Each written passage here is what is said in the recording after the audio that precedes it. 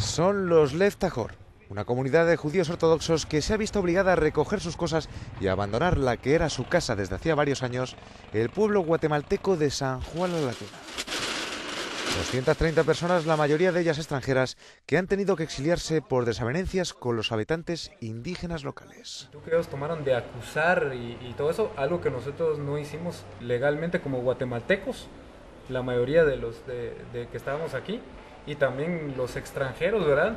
Eh, tienen el derecho de estar eh, en donde, donde queramos estar, media vez respetemos las leyes del país. Nosotros no queremos otro holocausto judío. Por eso salimos de esta forma, rápido, sin pensarlo.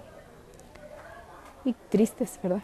Por lo menos en mi caso, siete años de estar viviendo aquí.